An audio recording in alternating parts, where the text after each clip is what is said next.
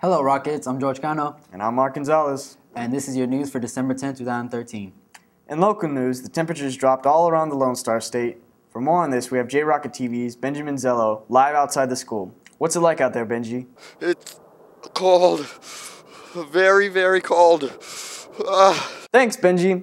An enormous, brutal mass of Arctic air shoved south over most of the U.S., threatening 32 million people with snow, ice, and wind, and an extraordinary drop in temperature. Students, faculty, and staff of the Dallas Independent School District had a four day weekend as severe weather conditions, power outages, and icy roads prompted the school closings. But things should warm up by the week's end, and classes resumed today in the Dallas ISD. Recently, in San Francisco, they did an amazing thing. They rallied together to make a dream come true for a Make-A-Wish child by letting him be Batman for the day. Five-year-old Miles Scott, a leukemia survivor, thwarted some villains and received a key to the city. His little brother was even dressed up as Robin. Let us all just be grateful a whole city could come together to make a dream, a child's dream come true. Last Friday, the Rocket varsity football team squared off against the Madison Mavericks. For more on the story, we have J Rocket TV's Davion Hood and Ashley Brown.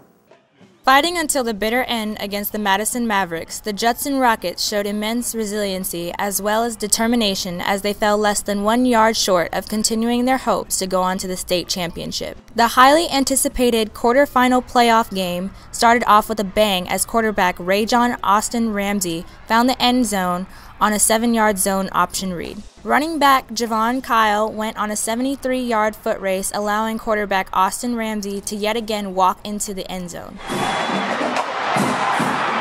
Due to an injury, all purpose player Andre Wilson took over at quarterback, playing his heart out, going on wild scrambles and completing this 10 yard pass to wide receiver Michael Akai, setting up the Rockets for one last shot at a game winning field goal, but fell a half yard short. We would like to congratulate our seniors as they played a tough and hard fought game to finish their high school career. That's about all the time we had here for today. I'm George Cano, And I'm Mark Gonzalez. and this has been J Rocket TV. Make sure to subscribe to our YouTube channel, J Rocket TV, and keep a lookout for exclusive web content like our upcoming podcast. Yeah. Hey. Is Benji still outside?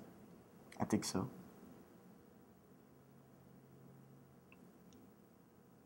We're done.